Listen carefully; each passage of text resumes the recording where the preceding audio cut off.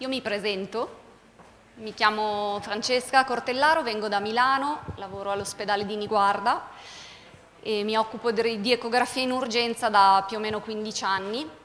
In questo momento rappresento la società di medicina di emergenza urgenza, la SIMEU, con la quale abbiamo costruito insieme una serie di corsi sia eh, sull'ecografia in emergenza urgenza che corsi monotematici. Questo sul polmone è un corso che esiste da un paio di anni, l'ecografia toracopolmonare è diciamo, la novità di questi ultimi anni e che si applica bene non soltanto nel mondo dell'urgenza, ma motivo per cui penso anche i cardiologi sono qui, in ambito cardiologico, in ambito pneumologico, eh, è molto avvincente anche per i nefrologi, per i pediatri, per i rianimatori, quindi è un corso trasversale. Abbiamo cercato di adattare il programma che normalmente facciamo più all'interesse ovviamente internistico e cardiologico, quindi non parleremo di trauma e di pediatria, però è importante sapere che queste sono applicazioni che stanno crescendo in modo esponenziale. Se guardate su PubMed il numero di pubblicazioni di ecotoraco polmonare più o meno esce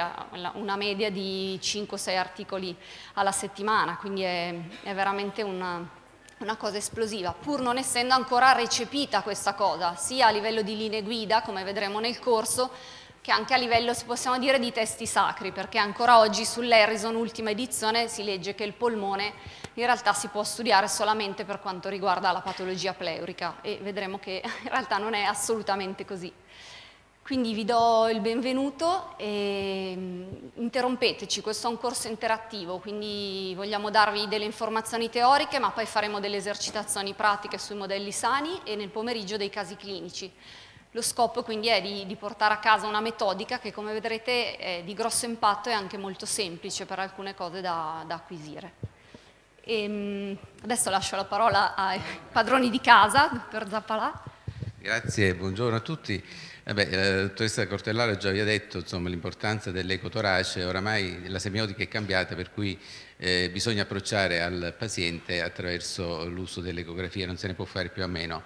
Purtroppo ancora questa metodica non è entrata nell'uso comune quotidiano, cosa che dovrebbe essere perché il malato deve essere visitato, oramai non è più possibile se non visitarlo attraverso l'ecografia. E noi siamo qui da circa dieci anni che portiamo eh, avanti il corso di formazione di ecografia base e che abbiamo realizzato circa otto anni fa e stiamo portando avanti questo progetto per far sì che insomma, tutti quanti possano insomma, eh, prendere questa metodica come metodica di studio e di valutazione. Niente, adesso la presentazione ce la siamo fatti, iniziamo velocemente perché siamo già tardi col programma in modo che possiamo avere tutti quanti l'idea che oramai l'ecografia, in particolare questo monotonale del torace, deve essere indispensabile e deve essere di uso quotidiano del medico che approccia il paziente. Grazie.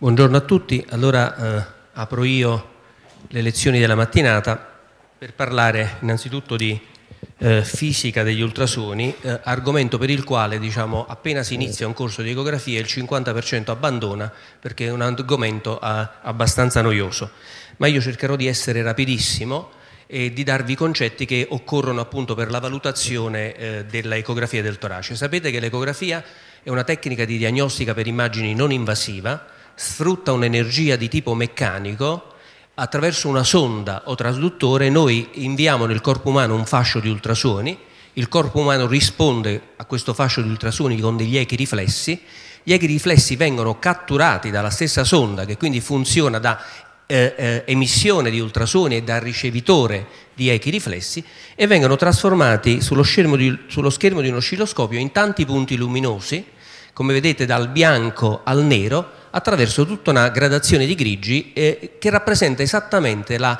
sezione di tessuto, la sezione di distretto anatomico che noi stiamo studiando in quel momento. Gli ultrasuoni sono dei suoni particolari. Sapete che per poter produrre un suono abbiamo bisogno di un oggetto vibrante. L'esempio tipico sono le mie corde vocali che in questo momento vibrano lungo la colonna aerea tracheo-bronchiale e eh, ne risulta un suono che viene recepito vostre, eh, dal vostro udito, ma eh, analogamente si può parlare per le corde di una chitarra, di un violino o per le lame di un diapason. Per produrre degli ultrasuoni noi eh, diciamo, utilizziamo eh, una, una, particolare proprietà di alcuni cristalli. Vedete, se io applico a dei cristalli una corrente elettrica, maggiore è la corrente elettrica, maggiore eh, eh è la vibrazione del, del, mio, eh, del mio cristallo. E in realtà le nostre sonde ecografiche, i nostri trasduttori, non sono altro che, come vedete, delle mh, strutture che contengono nella parte che esponiamo sul corpo del paziente una filiera di cristalli e il filo bianco che lega praticamente la sonda al nostro corpo macchina non è altro che un filo che trasporta l'energia elettrica per attivare questi cristalli. Questo effetto si chiama effetto piezoelettrico, cioè la capacità che hanno alcuni cristalli di trasformare l'energia elettrica in energia meccanica. Eh, l'unità di misura dei nostri suoni si chiama Hertz ed è eh, il corrispettivo della frequenza. Che cosa significa? significa che eh, il numero di volte che il mio oggetto vibra nell'unità di tempo corrisponde esattamente alla frequenza. Eh, il mio oggetto vibra eh, una volta in un secondo, la frequenza di questo suono è un Hertz. Vibra 10 volte in un secondo, la frequenza di questo suono è 10 Hertz. Vedete che il corpo umano, l'uomo, è in grado di riconoscere dei suoni che variano da 20 Hertz a 20.000 Hertz quindi oggetti che vibrino fino a 20.000 volte in un secondo. E quindi per definizione noi eh, definiamo ultrasuono qualsiasi suono il cui oggetto vibrante sia prodotto da una sorgente che vibra al di sopra delle 20.000 volte in un secondo. In realtà però in campo diagnostico noi usiamo praticamente delle frequenze veramente molto alte. Quello MHz sta per milioni di hertz. Significa che noi utilizziamo delle sonde i cui cristalli vibrano dai 2 milioni ai 20 milioni di volte eh, in un secondo. Ovviamente sono suoni non udibili dall'orecchio umano, ma solo da alcune specie eh, animali. E allora il primo problema che ci dobbiamo porre è come faccio io a scegliere tra le diverse sonde disponibili quale frequenza devo utilizzare. Lo possiamo fare se riconosciamo due proprietà del fascio ultrasonoro. Una prima proprietà è la risoluzione. Risoluzione significa la capacità che il mio fascio di ultrasuoni ha di vedere dei punti molto vicini e molto piccoli in maniera molto precisa. Come vedete dal grafico, questa proprietà è direttamente proporzionale alla frequenza, cioè se io voglio ottenere un fascio di ultrasuoni ad alta risoluzione, devo utilizzare frequenze estremamente elevate. Il gioco è fatto, sarebbe semplice, utilizziamo sempre le frequenze più elevate, ma in realtà, come vedete da questa animazione, se io aumento la frequenza di una sonda ecografica, si riduce la penetrazione. Quindi che cosa significa? Che è vero che io voglio lavorare con sonde ad alta frequenza per ottimizzare la risoluzione, ma non lo posso fare perché devo tenere conto anche della penetrazione. E allora è evidente che se io devo studiare per esempio il cuore in un soggetto obeso avrò la necessità di usare frequenze più basse che però mi assicurano e mi garantiscano la penetrazione diciamo adeguata. Posso via via aumentare le mie frequenze man mano che passo nel cuore di un normotipo, fegato e reni, fino ad utilizzare praticamente frequenze estremamente elevate per quegli organi che sono disposti superficialmente. Nel campo diagnostico, come vedete, noi utilizziamo prevalentemente sonde a bassa frequenza, 2 milioni, 2 milioni e mezzo di Hertz per studiare cuore, aorte e vasi renali, sonde da 3 e 5 milioni di Hertz per studiare l'addome e il torace, in particolare la base del torace alla ricerca dei versamenti pleurici, e sonde ad elevatissima frequenza, fino a 10 MHz, per studiare la parete toracica vedrete nella parte pratica come per lo studio per esempio della parete toracica e della linea pleurica, che è la cosa fondamentale da, per, da riconoscere in ecografia toracica, utilizzeremo sempre sonde ad elevata frequenza.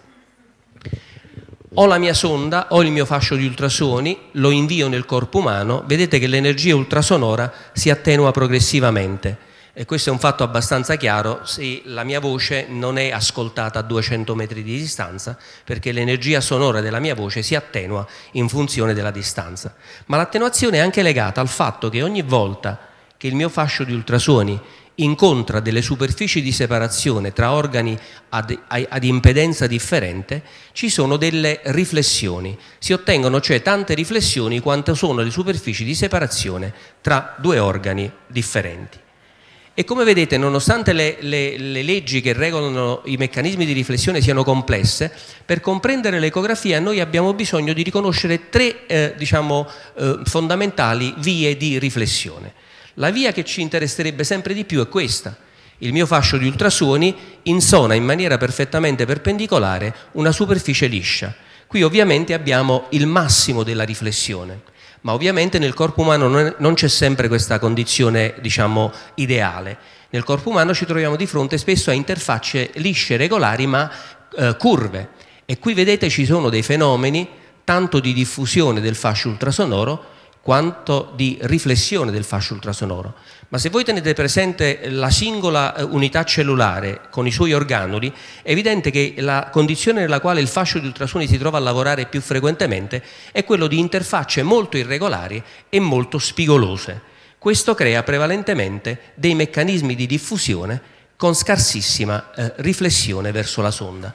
Eh, vi ho dato queste tre modalità perché come vedrete queste tre modalità sono alla base delle immagini ecografiche fondamentali che troveremo in qualsiasi nostro eh, esame ecografico. Eh, che, che, cosa fa l'ecografo? L'ecografo non è capace altro che di eh, identificare precisamente il tempo a cui arriva un eco eh, alla macchina, ma siccome noi sappiamo che nei tessuti molli il fascio di ultrasuoni viaggia ad una velocità più o meno costante, 1540 metri al secondo, dal tempo diciamo, che, eh, di arrivo del, del, dell'eco e dalla velocità che è un fattore noto, noi ricaviamo lo spazio. In realtà la macchina mette in uno spazio ben definito che corrisponde esattamente allo spazio anatomico da cui quell'eco proviene e dà praticamente all'eco una intensità che è proporzionale all'energia ultrasonora che viene riflessa. In altri termini, darà un'immagine bianca molto ecogena per quegli echi che arrivano con grossa energia darà un'immagine grigia, ipoecogena per tutti quegli echi che arrivano ad intensità e ad energia intermedia e darà assolutamente un'immagine di nero, in termini ecografici parliamo di anecogeno, per tutte quelle strutture che non determinano assolutamente una riflessione del fascio ultrasonoro. In altri termini, la mia immagine ecografica schematizzata è questa. Che cosa ci dice questa immagine ecografica? Ci dice che noi ci troviamo ad osservare più o meno a 3 cm dal piano cutaneo, una struttura che è fortemente riflettente, cioè eh, porta verso la sonda un'elevata energia ultrasonora.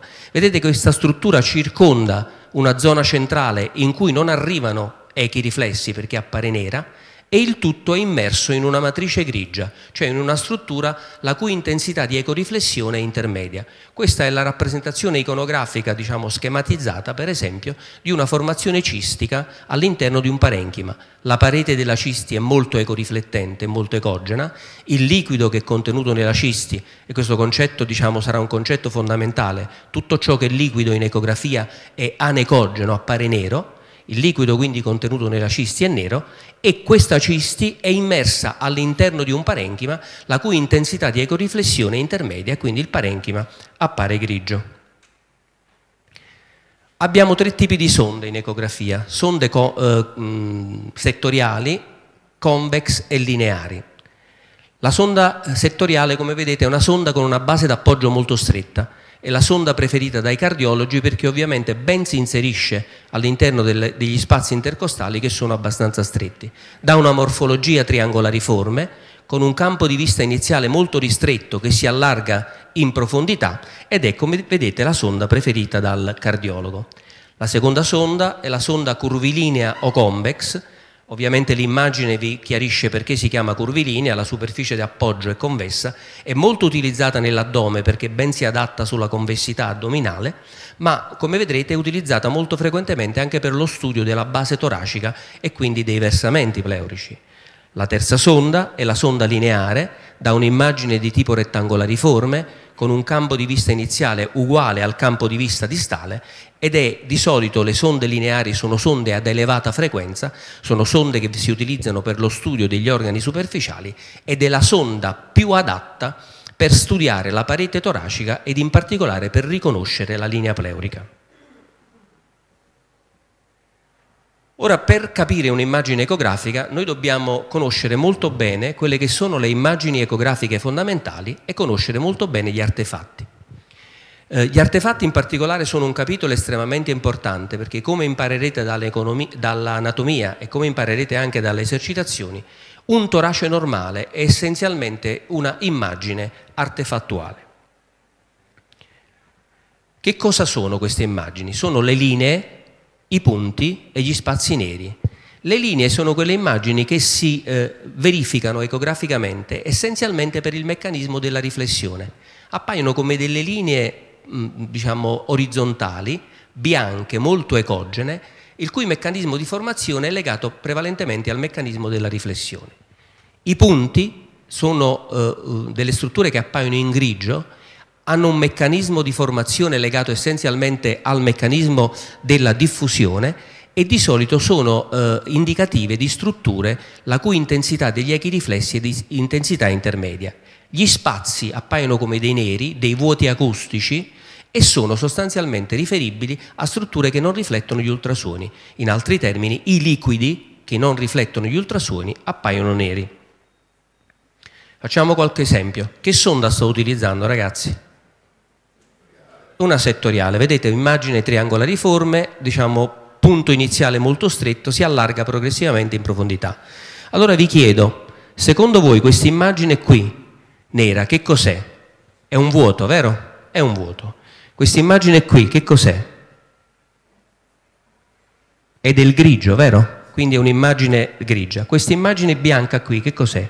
È un'immagine di parete, ma noi riconosciamo esattamente l'anatomia di questa struttura se oltre a riconoscere le immagini ecografiche fondamentali, che vi ricordo sono il nero, il vuoto, il grigio, il tessuto, e eh, il bianco, la parete, conosciamo anche l'anatomia di questa regione.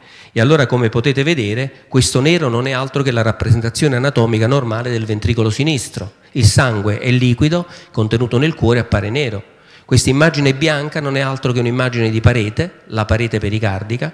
Questa immagine grigia non è altro che l'immagine di un tessuto, il normale setto interventricolare. E questa immagine anecogena nera è la normale rappresentazione della orta. Ma passando in un campo che mi è più familiare, questo è il fegato. Voi vedete sono con una sonda di che tipo? Una convex in addome. Anche qui voi vedete rappresentate delle immagini di grigio, delle immagini di nero e delle immagini di parete.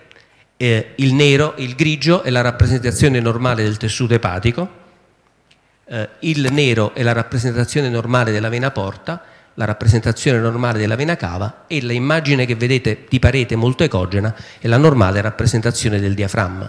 Ma se conosciamo le immagini ecografiche fondamentali e l'anatomia, noi siamo in grado anche di riconoscere il patologico. Sono sempre con una sonda convex, sono in fianco destro e come vedete qui ho due strutture grigie, una prima struttura che è la rappresentazione ecografica del fegato e una seconda che è la rappresentazione ecografica del rene, ma tra fegato e rene vi è una struttura che normalmente non esiste nel, nel normale, una struttura nera.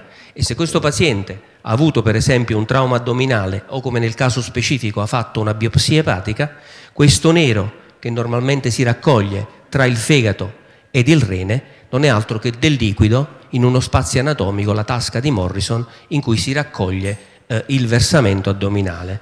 Quindi non è altro che un'immagine di emoperitoneo traumatico. Gli artefatti. Perché sono importanti gli artefatti? Perché come vedrete sono molti gli artefatti in ecografia, ma quelli che ci interessano per comprendere il torace sono essenzialmente tre. L'ombra acustica, il rinforzo di parete posteriore e gli artefatti da riverberazione, che sono stati chiamati in vari modi, ma eh, che direi è buona norma chiamare artefatti da riverberazione. Vediamoli uno alla volta. Che cos'è il cono d'ombra posteriore? Se io ho una formazione nella quale l'energia riflessa ultrasonografica è molto elevata, quindi una struttura ad alta impedenza acustica che riflette tutti gli ultrasuoni, vedete che dietro l'energia ultrasonora non passa e avrete questo artefatto che si chiama cono d'ombra, un fascio nero dietro a una struttura molto ecogena. Tutti voi riconoscete questa immagine, che cos'è? Che cos'è? Un calcolo in colecisti, ma perché riconosciamo il calcolo? Perché noi riconosciamo l'artefatto al di dietro del calcolo, cioè il cono d'ombra posteriore. E allora vedete il, il, eh, il, nero della colecisti, il grigio del fegato, l'immagine di parete del calcolo e l'artefatto posteriore, il cono d'ombra posteriore. Il cono d'ombra posteriore si genera sempre dietro a strutture fortemente riflettenti. Nel torace le strutture fortemente riflettenti sono le ossa, quindi ovviamente se noi poniamo una sonda di tipo lineare sulla parete toracica, immediatamente visualizziamo l'immagine ecogena della costola e dietro la costola il cono d'ombra posteriore. Il rinforzo posteriore è l'opposto del, del, cono d'ombra posteriore. In pratica, quando una struttura eh, liquida viene attraversata da un fascio di ultrasuoni, il fascio non viene attenuato, passa senza essere riflesso all'interno della struttura liquida e dietro la struttura liquida si generano degli echi molto amplificati. Qui vedete un'immagine all'interno di un parenchima, questo è il fegato, vedete l'immagine a contenuto liquido, vedete che dietro la formazione a contenuto liquido l'intensità degli echi è nettamente superiore all'intensità degli echi che sono presenti perifericamente alla formazione a contenuto liquido. E infine c'è il terzo artefatto molto importante, l'artefatto da riverberazione. Si genera ogni volta che il fascio di ultrasuoni incontra delle superfici fortemente riflettenti e si genera ogni volta che il fascio di ultrasuoni incontra l'aria in particolare, ma si verifica anche quando il fascio di ultrasuoni incontra una struttura come in questo caso ad alta capacità riflessiva come eh, riflettente come l'osso. Che cosa succede? Succede che per effetto diciamo, del rimbalzo continuo degli echi tra la superficie fortemente riflettente e la sonda, si generano una serie di echi che poiché arrivano al fascio di ultrasuoni in tempi sempre maggiori, la macchina interpreta come se provenissero da più lontano.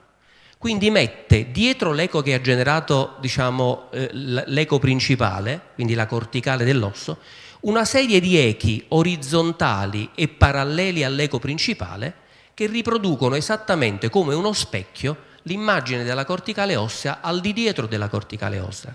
Si generano cioè tante linee orizzontali e parallele che si chiamano appunto artefatti da riverberazione e sono abbastanza tipici, come vedete, anche eh, diciamo dell'aria, come vedremo dopo. In soldoni quello che noi dobbiamo ricordare è che tutto ciò che è liquido in ecografia appare nero, tutto ciò che è tissutale e solido appare grigio e le superfici fortemente riflettenti come l'aria o anche l'osso appaiono come delle immagini di pareti molto ecogene con artefatti da riverberazione posteriori. E allora vedete che qui abbiamo delle immagini di nero, siamo in condizioni fisiologiche ma anche patologiche, questa immagine di nero che vedete qui giù è una vescica piena d'urina, questa immagine di nero che vedete qui è la vena cava inferiore, ma questa immagine che vedete nera qui è un'immagine patologica. Sono con una sonda sul torace ed il liquido nel cavo pleurico appare nero, così come il liquido nel cavo, nel cavo eh, addominale appare nero, un versamento pleurico sulla sinistra e un versamento ascitico sulla destra. Qui vedete una serie di grigi, sono tessuti normali. In basso abbiamo un testicolo, qui abbiamo il fegato, qui abbiamo la milza, qui abbiamo in questa zona qui il pancreas ed infine l'aria, vedete contenuta in addome a sinistra e nel polmone a destra, che appare essenzialmente come una linea fortemente ecogena, eccola qui, dietro la quale ci sono questi artefatti orizzontali paralleli tra di loro, tutti posti alla stessa distanza dalla linea ecogena iniziale, che si chiamano artefatti da riverberazione. Eh, poche note sul controllo della macchina, dobbiamo accenderla innanzitutto, quindi trovare il tasto di accensione, dobbiamo selezionare la nostra sonda, se abbiamo a disposizione molte sonde, dobbiamo eh, eventualmente eh, valutare i preset, noi possiamo sulla macchina, cioè farci montare dal tecnico dei preset adatti per esempio allo studio delle carotidi piuttosto che della vena porta, possiamo praticamente avere un, un pulsante di profondità, possiamo regolare i nostri guadagni, ma tutto questo lo faremo meglio alle esercitazioni pratiche, possiamo fermare l'immagine che ci serve sostanzialmente a misurare, possiamo praticamente modificare e invertire le nostre sonde, possiamo fare delle foto e dei filmati di tipo fotografico molto utili soprattutto se facciamo procedure di tipo eh, interventistico o di altro, eh, di altro tipo. E se non ci sono domande dall'uditorio, se non è completamente tramortito, io, io passerei alla, diciamo, all'anatomia di base del, del polmone e del torace in particolare. Allora, eh, non è una nuova tecnologia, bastano le sonde che utilizziamo in ecografia da oltre 50 anni. Non è una nuova scoperta perché le prime segnalazioni sono veramente di circa 50 anni fa. Fa fatica, come diceva nostra, diciamo, il nostro direttore proveniente da Milano, ad, ad, emergere in campo internistico perché c'è una resistenza che direi è soprattutto culturale più che di una resistenza diciamo reale ed è un'anatomia semplice eh, ha una curva di apprendimento abbastanza rapida e diciamo, bisogna riconoscere gli elementi diciamo, anatomici fondamentali da alcune sindromi eh, ecografiche fondamentali di cui vi parleranno i miei colleghi. Se vogliamo proprio dirla in soldoni, l'anatomia diciamo, ecografica di un fegato normale è fatta da due immagini ecografiche fondamentali, da due immagini di parete, che sono la parete delle costole e la parete della linea pleurica da due artefatti, che sono il cono d'ombra posteriore e gli artefatti da riverberazione, e da due movimenti, perché la linea pleurica si muove normalmente, perché la pleura parietale, eh, la pleura parietale scivola sulla pleura eh, viscerale, e perché la linea pleurica in condizioni normali riceve la trasmissione del battito cardiaco. Come sapete, quello che per noi è importante in anatomia eh, toracica e in anatomia del polmone è la identificazione della linea pleurica. Sapete che la parete toracica è fatta, scusatemi, è fatta diciamo dal, dalla cute e dal sottocute, è fatta dai muscoli, è fatta dalle costole e dai muscoli intercostali e immediatamente al di sotto delle costole e muscoli intercostali c'è l'immagine della pleura. Non siamo in grado di distinguere la pleura parietale dalla pleura viscerale, ma i foglietti pleurici ci appaiono, ci appaiono come un'unica eh, entità anatomica e c'è una perfetta corrispondenza tra quella che è l'anatomia diciamo, eh, eh, normale e quella che è l'anatomia ecografica. Qui con quale sonda sto lavorando? Una lineare. Ricordo sempre che la lineare è la migliore sonda per poter identificare la linea pleurica. Vedrete tuttavia dalle esercitazioni che se non disponiamo di questa sonda possiamo utilizzare normalmente una sonda ecografica di tipo convex. E come vedete praticamente noi abbiamo la rappresentazione dei primi spazi, gli spazi sottocutanei, abbiamo la rappresentazione degli spazi muscolari, abbiamo la rappresentazione delle costole che come vedete appaiono come una struttura ecogena con il cono d'ombra posteriore e infine abbiamo la rappresentazione ecografica della linea pleurica che appare come una linea sottile di pochi millimetri bianca che come vedete collega i coni d'ombra di due costole vicine. Quindi è molto facile riconoscere ed è molto riproducibile questa immagine se noi ricordiamo che le due costole danno i coni d'ombra e che tra i due coni d'ombra la linea bianca che si vede al di sotto delle due costole è la rappresentazione ecografica normale della pleura.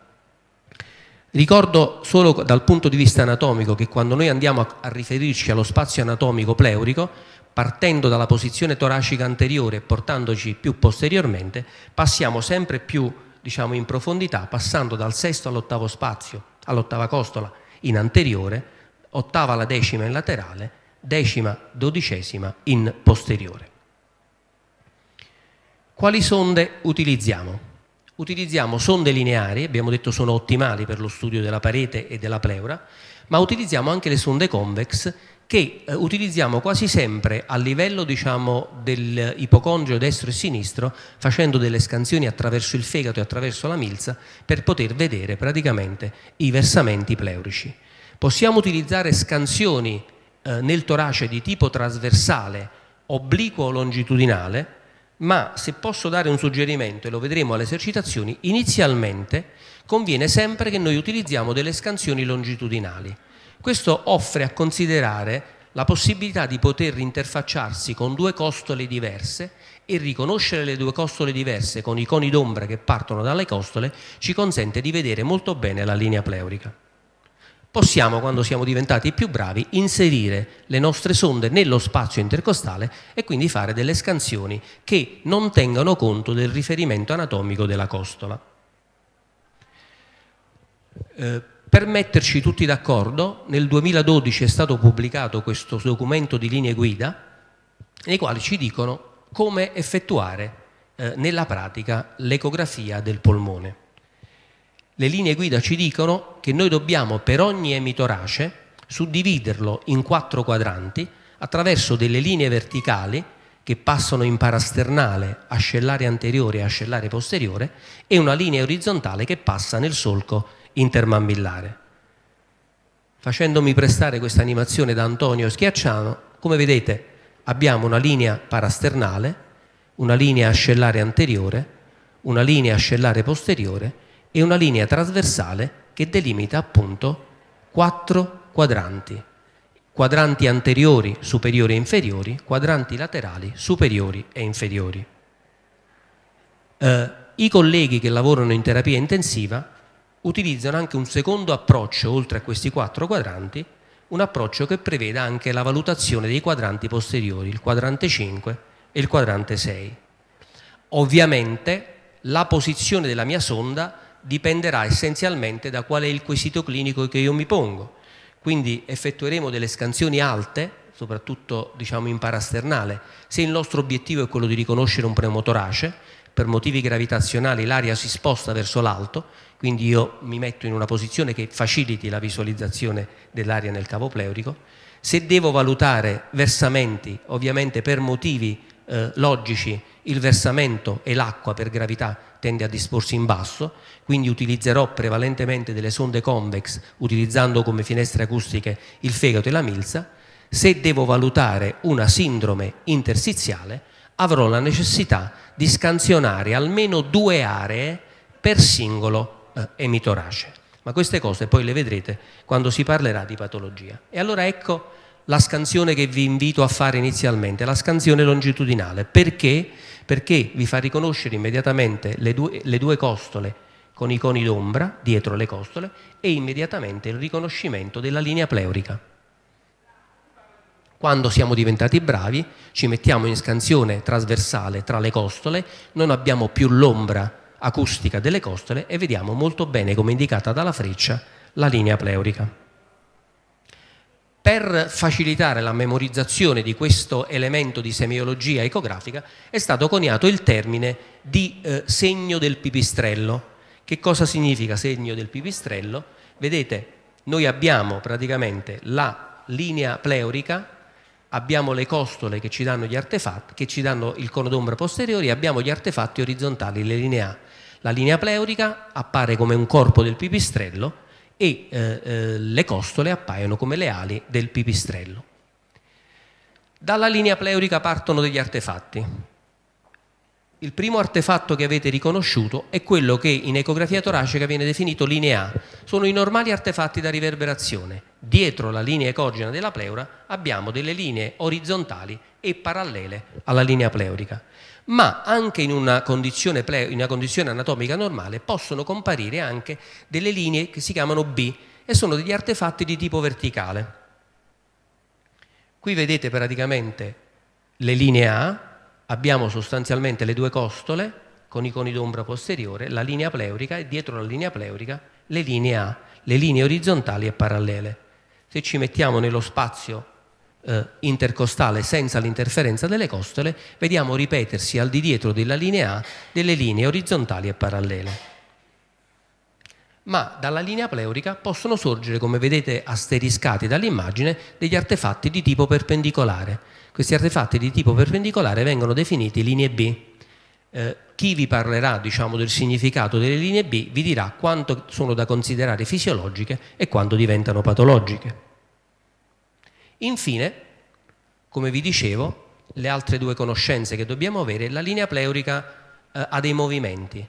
un movimento intrinseco allo scivolamento della pleura parietale sulla pleura viscerale durante gli atti respiratori, questo movimento si chiama movimento di scivolamento, gliding o sliding, è un movimento trasmesso dalla pulsazione cardiaca.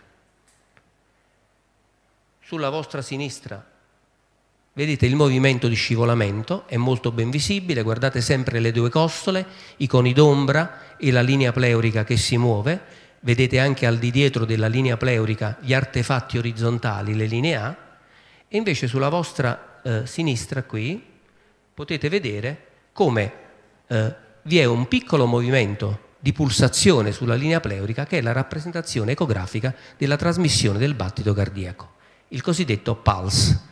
Ovviamente il primo movimento, il gliding, è strettamente collegato alla frequenza respiratoria, il secondo movimento, il pulse, è strettamente correlato alla eh, frequenza eh, cardiaca.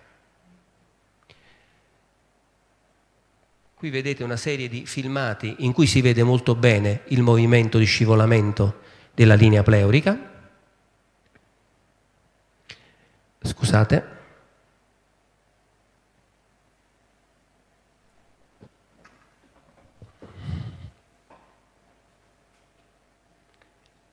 E ancora qui vedete il movimento praticamente di scivolamento della linea pleurica con sonda lineare posta all'interno dello, dello, spazio eh, intercostale.